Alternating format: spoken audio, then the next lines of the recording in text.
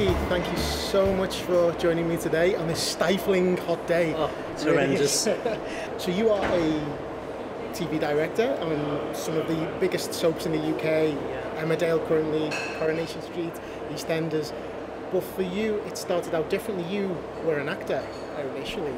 I was, yeah. I, I think that came from, from when I was younger and I used to watch television and I knew I wanted to be an actor, but I thought they were the only jobs that there were. so once I started actually working in telly and I started to get more drawn to the other side of it, really. So yeah, I did uh, initially start off as an actor. What was it that made you want to change direction? Because um, you, you worked on television as an actor, didn't you? Well, I started quite young. I went to the Everyman Youth Theatre and there was a woman in Youth Theatre who went on to work for BBC Radio 4 called Kate Rowland, and she was very like encouraging towards me. Just started to get little bits of work and stuff, and that's the sort of direction I was going in. When I became a regular on a show, I was sort of more drawn to the other side of it. I've always sort of been like a crew type person. Yeah. I always found myself more with the crew, and I like the the sort of process of it all coming together really. From your transition from acting to directing, how did you go about um, sort of getting your opportunities, establishing yourself? What would you was, was your method? Well, you've got to be a bit cheeky, Dru, to be honest. You've got to be a little bit hard-faced. What, what I did, when I was in Brookside, um, we only worked obviously Monday to Friday, so I had the weekends free, and we had all this equipment which no one used all weekend. So we started to make short films ourselves. So we'd use the Brookside houses or the Brookside shops. And I'd direct, because obviously that's where I wanted to go.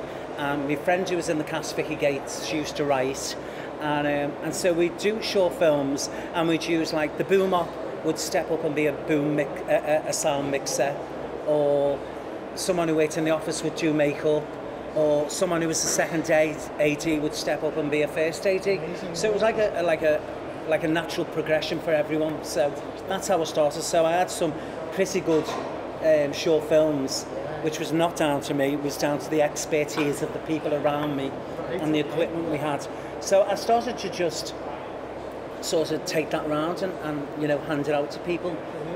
And I had a job on Family Affairs, which is a soap which also got axed sworn in my life. Um, so I was on Family Affairs for a bit, and there was a producer there, and I gave him my show reel, and I said it was that long ago, it was on video, and I said, "Can you, you have a look at that? And if there's um, you know any chance to let me be a director, I'd love it." And she basically said no. Um, she enjoyed it, but the show was too difficult for new time directors to do. So I sort of pestered her a bit, and every time I seen her in the canteen, I'd go, just let me do one ep, one ep. if it's rubbish, it won't make any difference. One ep, one ep. and then by some fluke, she went come and see me. So that's how I started off, really. Wow, okay, so, brilliant. That's fantastic, and it just progressed from so there. You've got to be a little bit cheeky with people, yeah. otherwise, you know. Fantastic fast forward into yourself now as a, as a, as a director, you're working on said some of the big UK soaps. What are the roles and responsibilities you have as a director? You're not just directing the, the, this, each episode. You, obviously, there's a lot more work that goes into that. What type of, what's your sort of? Uh... I think your first responsibility to, to the um, to like soaps, to like continuing dramas. Obviously, you want to tell the story because people are gripped by the story. So you want to make sure you're hitting all the story points script-wise. So for me, that's your priority to make sure you've got like a good handle on what's going on in your episodes because we usually direct four episodes and then someone else will direct the next four, and it's of like a bit of a cycle. So you obviously want to tell the story correctly. You obviously want to know actors' journeys before they've come to you.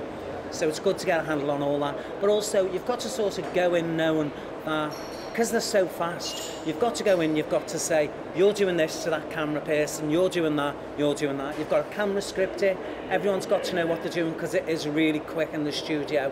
And um, and then you've got to do all your design meetings. So it's sort of like like being like um, the teacher with a class, and they are naughty, with a class of naughty kids, really. You've got to keep them in line. You've got to keep everyone in line. But I've got to say, everyone works so hard, and people are usually, you know, up for anything really.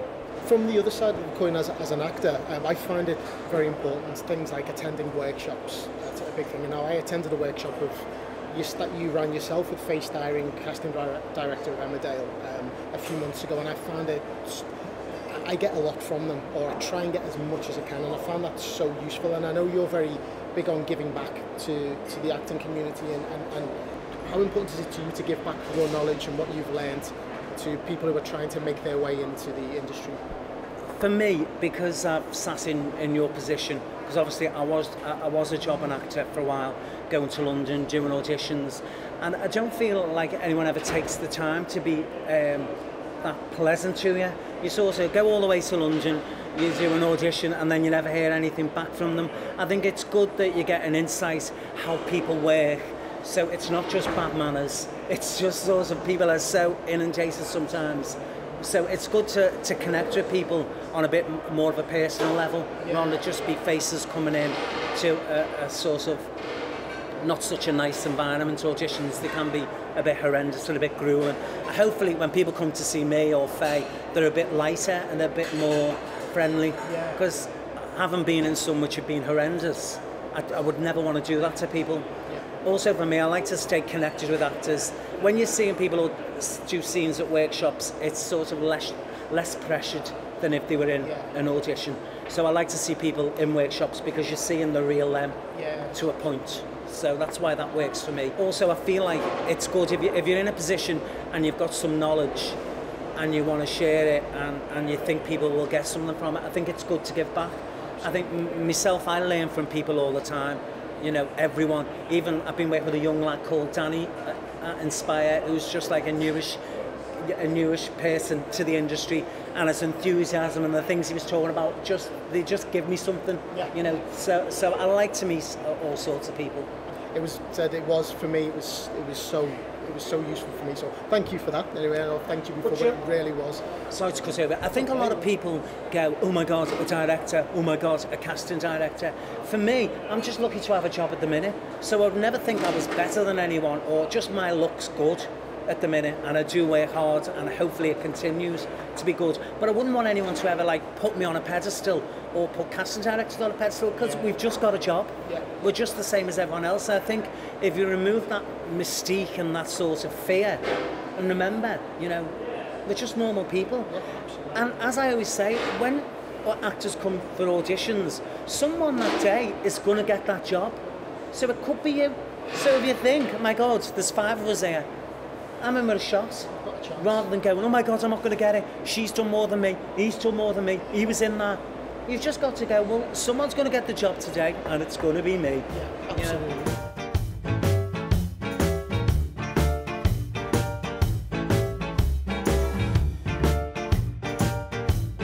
This question dozens of times, but for actors who are the ones who, like, again, you talk about this in your workshops, etc. But um, for actors who are serious about creating new opportunities, what would you say are the, the main key things that an actor um, A needs and needs to do proactively to get themselves and create opportunities to get into whatever, whatever the television, soap, drama, movies, theatre, whatever that may be? Right, I think you've got to state what's sort of accessible to you. And I think in Manchester, especially, more so than Liverpool, and I say that as a Scouser, um, there's such a brilliant community theatre, fringe theatre scene, where I think all the actors, same with the workshops, are all really supportive of each other.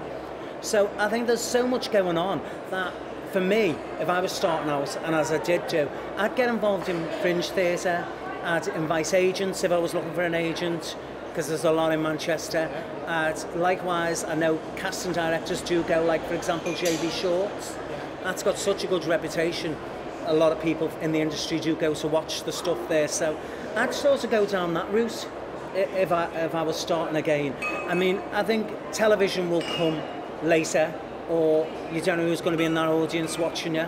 You know, I think if your, your headspace is, I just want to be on telly, then to me you're not an actor. I think you need to sort of perfect the craft. I think if you can cope with being on stage and things going wrong, you can do anything. Yeah. You know, telly will come. You know, I don't. I think if that's your only aim, it's it's not good. It's like the workshops which you go to yourself. It's good for you to meet like-minded people, and the support and the love each other has, you know, for one another is just it's off the scale really. I've never seen the likes of it. When I was a younger actor, there was nothing like this. There was the Actors Centre, which started off obviously in London, came to Manchester. It was so highbrow and I don't think it was really aimed for working class actors. Yeah. You know, I'm going back like 20 years or whatever, but now I think it's so it's there for everyone to do, and I think if you've got that opportunity and you can afford to do it, I'd grip it with both hands, really. Yeah, absolutely. And she said, and that, that feeling, I, I feel um, places like Inspire, going to classes and, and the workshop, it does it. You are meeting those people, and there is this a real big thing at the moment. People are a big circle of support. People pushing each other, want people want each other to do well. There's room for everybody if everyone just you know it's everyone works hard. They'll you know and enjoys themselves and, and just does it with a smile on the face as well. I feel. Um, do you have any um, advice you would give to any people who wish to be on your side of the camera as directors? Um, Don't bother. don't bother. There's enough of us. I'd say, obviously, I didn't go the traditional route to becoming a director. Most people go to film school or work their way up as a runner, second AD, first AD, director. I came from acting, so so I arrived at it with very little technical knowledge. I just knew what I thought looked good, what I wanted to do. But having said that, I was really good with other actors. So so what I didn't have, in, what I lacked in one area, I made up for in other areas. Because there's some directors who are not really that good at actors. So I think I, I think now as I've gone on, I've found a bit of a balance with it all. But I'd say you either go that route, runner, third, second, first, go to film school, or just be a bit cheeky, like me. Um, but there's, there's, the BBC sometimes do a good training course, um, and places like ITV are very are very pro encouraging the staff to move on. So there's a, an awful lot of, of people at ITV who are in the props department or in the camera department who have actually started to train up as directors. So organisations like that are good to get in and work your way up. It's obviously not, they're not going to give a directing job to someone who's 22 because you've got to have some sort of experience, some sort of life experience because, because you are running that crew and people are going to be wanting answers to things and when actors are doing scenes, it's good if you've got an emotional idea of what they're going through. So it's not a job for a kid.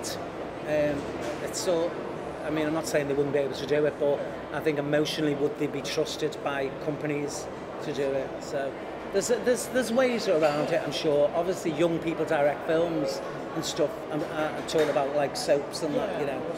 So you do a lot of work with television at the moment and soaps.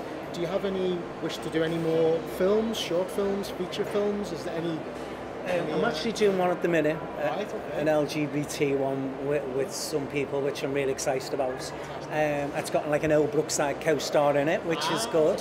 Um, and uh, no, I would like to obviously move in a different direction, but I just seem to get booked up with work, which is a great thing.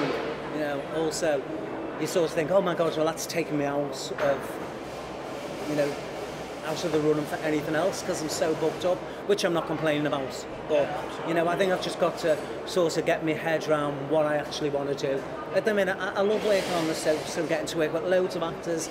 I can hopefully create work for other actors. Know, if opportunities come up to cast people in it, because a lot of opportunities do come up in the soaps. What I love about them is the sort of the first port of call for people now. It's where most people will get the first telly job. And obviously, because there's such little work in the industry, as the industry has got smaller, reality TV's got bigger, you get big names, you get really accomplished, good actors wanting to be involved in it. So, you know, it's it's win-win. Yeah, you know, it is. Yeah, for when- me, at that's the minute. fan- fantastic. Is there any chance um, we would ever see Mickey Jones dipping his toe back into acting again in the future? I like to think when I'm 70, I can work in the Kabin with Rita, Okay, yeah. because she'll still be in the Kabin, obviously. 100%, You know. 100%, you will. So yeah, so I, don't- I, I mean, never say never. I, I, sometimes I watch things, or if I'm at a workshop, or maybe I'm watching a good bit of telly, and sometimes I see an actor. One who always used to get me was Val from Emmerdale, and I used to watch and I think, oh my god, I'd love to be in a scene with her. So I think as an actor, I don't think it ever leaves you. I think if it's something you've done and something you know, oh my god, I love that, I love that. It sort of does give you the buzz. Or like if you go to see a play, you go, oh, I miss being on stage. Or, you know. So never say never, Dru. Never say never. Oh, that's cool. That's cool. But you're having an amazing time at the moment, anyway, and that's that's the most important thing. But Yeah. Mickey, um, thank you so much for speaking to me today and, and uh, joining me for a drink in this stifling hot day. It does look like Cheers. I'm drinking a uh, alcoholic drink, but it's actually a nice latte. So, uh, Whatever. Thank you. I can smell it, you know, I can smell it. um, but thank you so much anyway. I really appreciate it. Thank you. Thanks for having me, Dru. Really enjoyed it. Thank you.